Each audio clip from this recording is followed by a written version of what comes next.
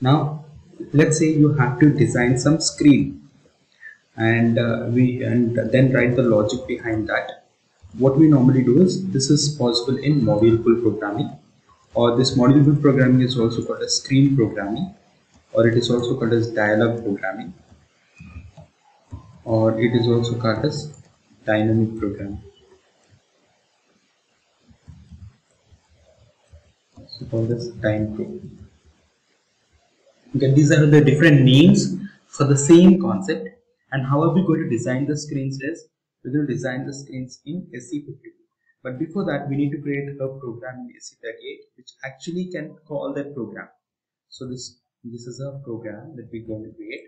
And it can be either an executable program or it can be a module program.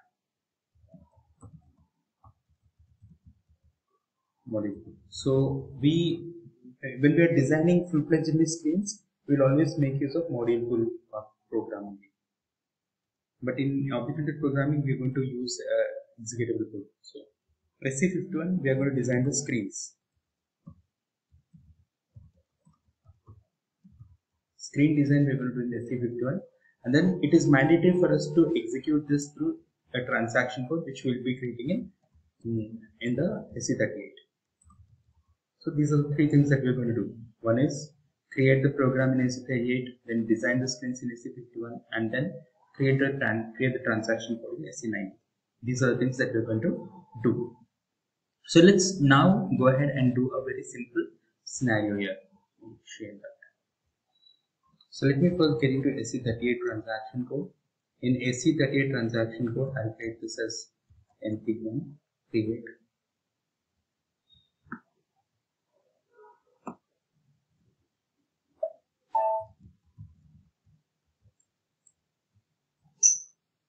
so uh, okay. So um i'll be creating it as module pool here.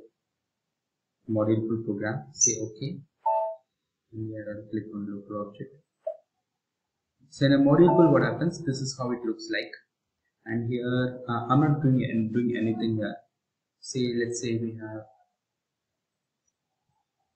okay i'll define something like data a of 10 type C value 100 value okay so save this syntax activate. Now once you design the program uh, write the program here you need to go back and with the same name with the same name that we have in the program we need to go to SE51 transaction and we need to design the screen here the screen number can be any four digit number. I'm, I'm, we normally start in the real time we normally start with 100 so this is for uh, screens of uh, uh, np module so we'll go to the flow logic. In the flow logic we'll uncomment this values here. I mean these are the modules. So these modules are actually something which will connect this screen with the program basically to pass the parameters and all. I have clicked on the layout and the layout opens. In the layout, I'll just normally write a text. I'm selecting this. This is demo screen text one. I'm giving the name of it as text one, and uh, the text that we have is demo screen. Save it.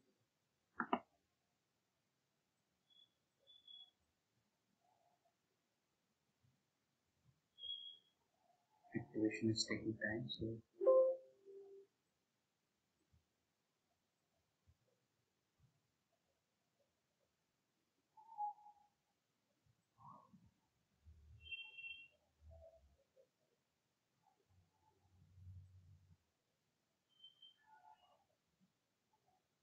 Actually what I have to do is like I have to come back and activate. But by mistake I have activated from there okay so now let me activate from here. So what did I do? I went into the layout. I just wrote some text. And we can also what we can do is we can also add that field which we have given in the program get from program.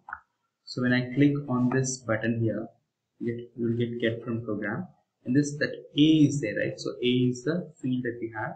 You can actually write it here somewhere. And back activate. And um, then you just need to double click on this so that it gets created in the program in the main program. Say ok it got created. Save it. Back. Screen. Yes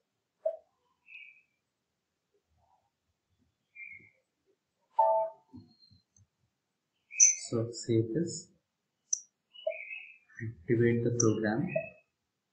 Now you cannot execute the program. You cannot execute the program. So what you have to do is you have to design the screen. So uh, we have designed a transaction code for this.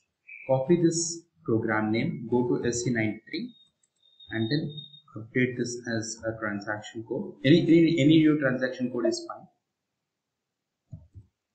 And here we'll, we'll set the program and screen you need to select the program and screen. And then here you need to give the program name. And the screen number you can select it from the drop down if you have multiple selection screen you will get that. Save. Save again. Back and this is ZVA EM ZVA MP1 ZVA underscore MP1 select. And we we, we are by default getting India here. Because the default value was there. And then so to close this, we have to enable all these things, all these icons, so that we'll do later. We'll have to set the menu painter for that. But now, going forward, the reason for discussing discussing this is because in in OOPS ALV, we're going to make use of this uh, very frequently with design screen and all.